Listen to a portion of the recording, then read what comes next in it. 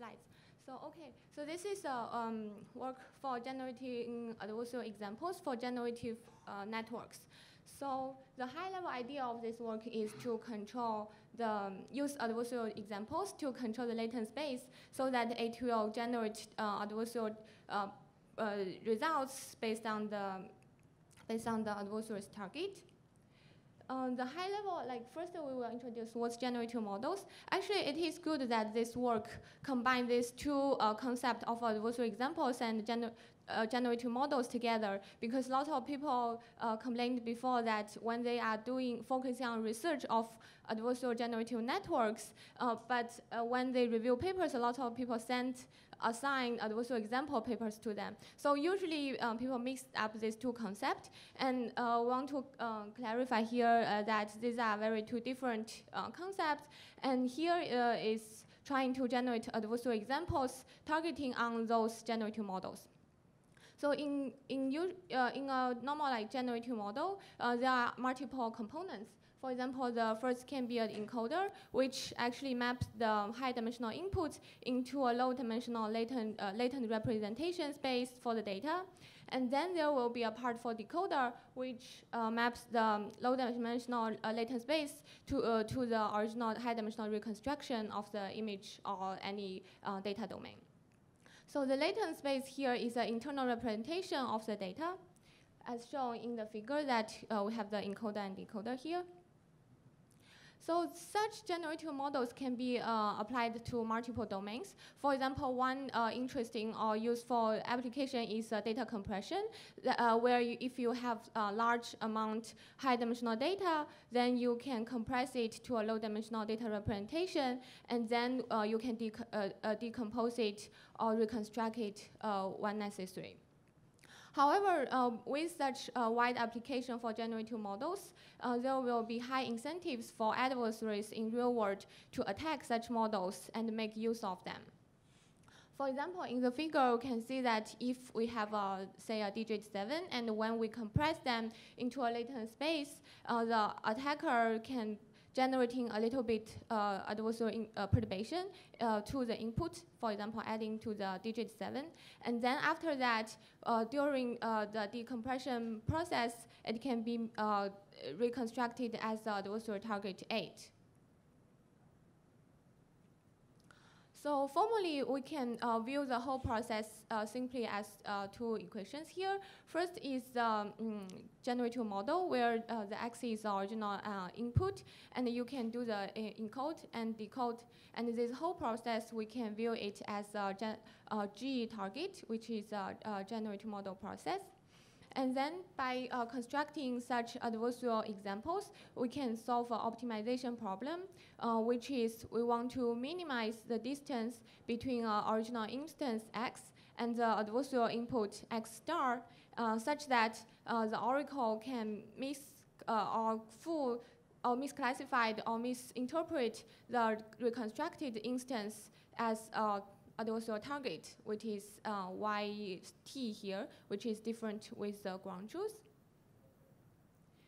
Uh, and the distance, the L distance function he here can be arbitrary distance function. For example, mo uh, most uh, generally people will use uh, LP norm as a distance, but in general, people know LP norm is not a very good uh, measurement metric. So uh, currently, people have different, say, TV loss, which is more, which will help to generate more realistic instances in terms of image domain.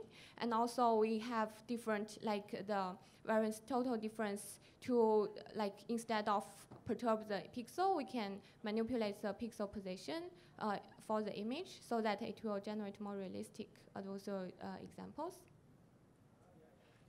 So uh, as a brief um, process, there is a whole uh, process we, uh, what we can see that the first uh, we can synthesize some adversarial input x and then it will be sent to the encoder and after the encoder, it will uh, generate some, uh, be mapped to some latent space. And after the latent space, uh, the decoder will generate some generated output. And this whole process uh, is how we can attack the uh, VAE GAN-based model, where the discriminator at the end will help to distinguish the instance. so that it will still be mm, like uh, still be benign to human uh, perception, but it will be uh, reconstructed as an adversarial target. And here is uh, when we want to manipulate or control the latent space, as an adversary or attacker, what they can do is train another classifier based on the latent space so that you can perform all types of traditional uh, adversarial attack method to the uh, latent space trained um, classifier, for example, fast gradient sign optimization based attack.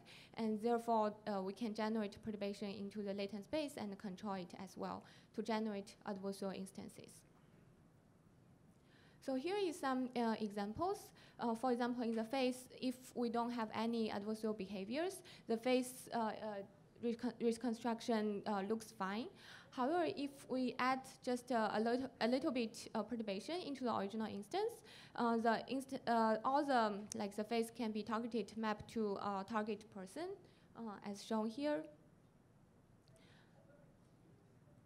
And also, if uh, we have digit image, we can on the uh, in the first row it's uh, original mm, normal reconstruction. But on the second row, if we add a little bit perturbation to the original digit, they can all be attacked to the target, which is zero here. And there is uh, some other example for uh, uh, SVHN, which we also have the zero, zero, as a target. And in the second row, we can see all the different digits uh, can also be attacked to the target zero. So based on all this, we can see that uh, we, it is uh, very easy and possible to generate adversarial examples for generative models. And uh, what's next uh, I want to add is uh, not only we can attack such generative models, but also we can also leverage the generative models to generate such adversarial examples, which either like we can attack it, we can use it to attack other classifiers.